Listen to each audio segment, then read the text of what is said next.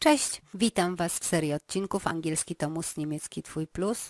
Dzisiaj będziemy opisywać mieszkanie. Najpierw będzie bank przydatnych słów, przyimki, czasowniki, nazwy pomieszczeń, okoliczniki miejsca, przymiotniki, dzięki którym możesz opisać wygląd domu, mieszkania, pokoju. Będą nazwy mebli. Następnie znajdziesz odpowiedzi na pytanie, gdzie mieszkasz, jak mieszkasz, jak wygląda Twoje mieszkanie. Będzie zagadka z przykładowym opisem pokoju i podsumowanie. Te potrzebne przyimki to an, przy, na, ale zawsze na pionie, czyli na przykład na ścianie, to będzie an, in, w, unter, pod, auf, na, na poziomie, neben, obok, vor, przed, hinter, za, über, nad, zwischen, pomiędzy. Przypomnij sobie prezentację, gdzie mówiliśmy o przyimkach łączących się z datywem, akuzatywem, tam miałeś taki slajd ze stołem. Albo ewentualnie zajrzyj na Facebook, tam też odnajdziesz w archiwum e, takie zdjęcie, które tłumaczy, co oznaczają te przyimki. Łatwiej będzie Ci je zapamiętać. A teraz musisz pamiętać, że po tych przyimkach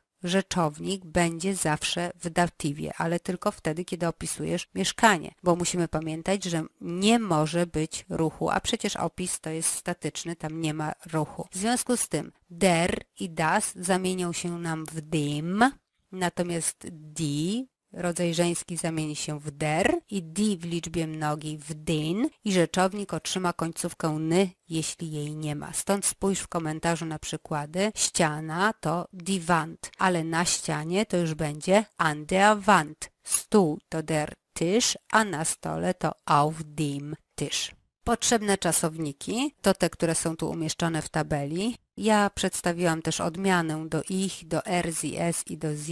Możesz się przyjrzeć, zatrzymać tą prezentację, ja tylko przeczytam te czasowniki. Wohnen, mieszkać, sein, być, haben, mieć, sich befinden, znajdować się, hängen, wisieć lub wieszać, liegen, leżeć, stehen, stać. No i przejdźmy teraz do nazw pomieszczeń. Das Zimmer, zwei Zimmer pokój, dwa pokoje. Zwróć uwagę, że liczba mnoga jest taka sama jak pojedyncza. Das Badezimmer, w skrócie das Bad, łazienka. Das Kinderzimmer, pokój dziecięcy. Das Wohnzimmer, pokój dzienny. Das Schlafzimmer, sypialnia. Das WC, WC. Die Garderobe, garderoba.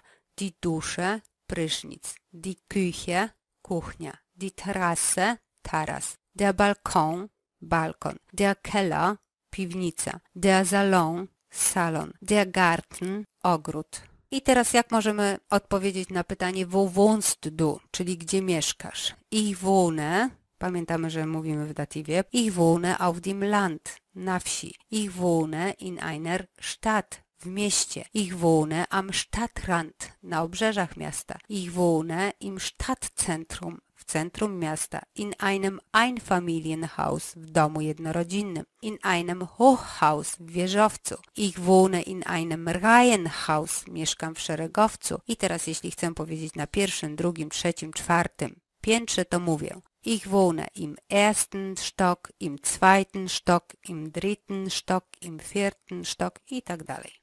Przechodzimy do odpowiedzi na pytanie Wie ist dein Zimmer eingerichtet? Czyli jak jest urządzony Twój pokój? I tu będą nam potrzebne okoliczniki miejsca. Przykłady. Neben der Tür, obok drzwi, an der Tür, na drzwiach, an der Wand, na ścianie, am Fenster, na oknie, neben dem Fenster, obok okna, in der Mitte, na środku, in der Ecke, w rogu, an der Decke, na suficie, auf dem Fußboden, na podłodze, über dem Bett, nad łóżkiem, vor meinem Bett, przed moim łóżkiem, neben dem Bett, obok łóżka. Jak widzisz, mogą tu być różne zestawienia, ja tu podaję przykładowe okoliczniki miejsca. Musisz za każdym razem pamiętać, że po użyciu tych przyimków neben, an, in i tak dalej, musisz użyć datyw, czyli die w liczbie pojedynczej zmieni się w der, das i der zmienią się w dem, a die w liczbie mnogiej zmieni się w den.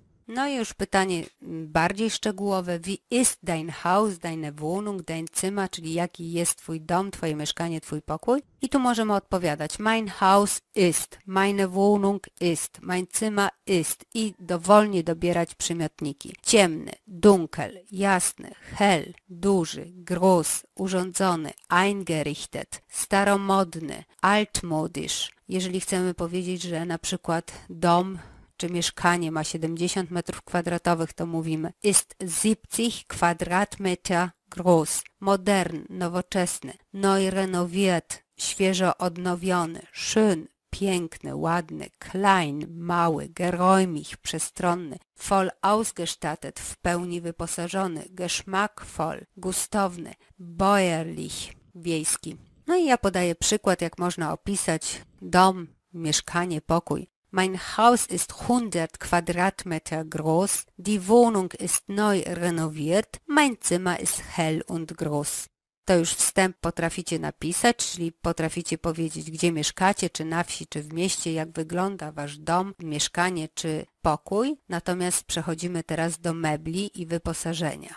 Meble, które użyjemy do opisu pokoju są tutaj w kolumnach. Pierwsza kolumna to rodzaj męski, druga żeński i trzecia rodzaj nijaki. Tak łatwiej zapamiętać w grupach rodzajniki, a to jest przecież ważne, bo pamiętasz, że po przyimkach będziemy zmieniali rodzajnik. Tysz, stół, Schreibtisch, biurko, sztul, krzesło, drehstuhl, krzesło obrotowe, Teppich, dywan, komputer, komputer, szrank, szafa. I teraz rodzaj żeński, komodę, komoda, lampę, lampa, blumę, kwiat, Topfblume, kwiat doniczkowy, Fensterbank, parapet, Sitzbank, ławka, bed, łóżko, poster, plakat, regal, regał, regalbrett, półka na ścianie. Możesz już połączyć zwroty w zdania, na przykład An der Wand hängt eine Lampe. No już na pewno rozumiesz, na ścianie wisi lampa. Mein Tisch steht in der Mitte. Mój stół stoi na środku. I powoli zbliżamy się do szczegółowego opisu mieszkania, dlatego teraz przypomnimy sobie możliwy wstęp do naszego opisu. A twoje zadanie, czy potrafisz przetłumaczyć Ich wohne in einer Stadt, czyli Mieszkam w mieście. Wir haben ein Einfamilienhaus mit einem schönen Garten. Mamy dom jednorodzinny z pięknym ogrodem. Das Haus liegt am Stadtrand. Dom leży na obrzeżach miasta. Es ist geräumig und modern ausgestattet. Jest przestronny i nowocześnie urządzony. I teraz uważaj. Die Wohnung besteht aus vier Schlafzimmern, einem Wohnzimmer mit einem großen Balkon, aus einer Küche, zwei Badezimmern mit Dusche und WC. Mieszkanie składa się z czterech sypialni, pokoju dziennego z dużym balkonem, kuchni, dwóch łazienek z prysznicem i ubikacją. A teraz już przechodzimy do opisu konkretnego pokoju. Mam nadzieję, że dziewczynom spodoba się ten pokój, a wasze zadanie zapamiętać, jak umeblowany jest ten pokój. Zwróć uwagę na różne szczegóły, bo zaraz będą pytania do opisu tego pomieszczenia. Już? Można dalej? Tak, No to teraz odpowiedz na pytania. Ja, jeśli opis się zgadza z obrazkiem, natomiast nein, jeśli się nie zgadza, ale wtedy musisz powiedzieć, dlaczego się nie zgadza. Das ist ein Mädchenzimmer. ja. Masz rację, to był pokój dziewczynki. Das Zimmer ist hell, denn es hat ein sehr großes Fenster. Ja. Masz rację, pokój rzeczywiście jest jasny, gdyż ma bardzo duże okno. Links an der Wand steht ein weißer großer Schrank. No i przypomnij sobie, gdzie ta szafa stała. Nein. Warum? Rechts an der Wand. Świetnie. Der Teppich liegt in der Ecke. Przypomnij sobie, gdzie leżał dywan. Nein. In der Mitte auf dem Fußboden. Der Schreibtisch steht in der Ecke. Prawda czy nie? Nein. Am Fenster. Der Drehstuhl steht am Schreibtisch. Czy fotel stał przy biurku? Ja. Czy pamiętasz, gdzie było łóżko piętrowe? Links an der Wand befindet sich ein Etagenbett. Prawda to, czy Nie. Ja. Unter dem Etagenbett ist eine Sitzbank mit Schubladen. Ja. Dobrze zapamiętałaś, rzeczywiście pod łóżkiem piętrowym była ławka z szufladami. In der Ecke steht mein Computer. Nein, es gibt keinen Computer. Brawo, nie było komputera. Neben dem Fenster auf dem Regalbrett sitzt eine Puppe. Nein, zwei Puppen. Masz rację. Obok przy oknie na półce siedziały dwie lalki, a nie jedna. Die Lampe steht auf dem Fußboden. Nein, Auf dem Schreibtisch. An der Wand hängen Posters. Nein. in dem Zimmer Gibt es keinen Posters. Brawo, rzeczywiście nie było plakatów. Mam nadzieję, że ten opis właśnie, który widzisz przed sobą, będzie dla Ciebie pomocny wtedy, kiedy będziesz opisywał swoje mieszkanie, swój pokój. No i podsumowanie. Przy opisie pokoju albo mieszkania używamy okoliczników miejsca w datywie.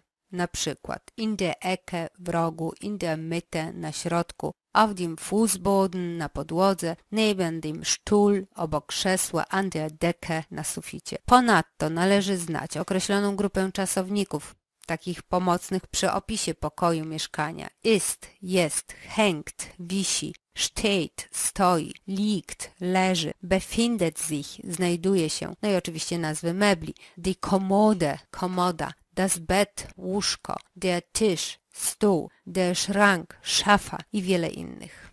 Mam nadzieję, że po obejrzeniu tej prezentacji dasz już sobie radę z opisem pokoju, mieszkania, samodzielnie takiego opisu dokonasz i zrobisz to w miarę bezbłędnie. Tego Ci właśnie życzę i zapraszam na stronę niemiecki.co. Tam znajdziesz więcej przykładów dotyczących opisu mieszkania. Do usłyszenia.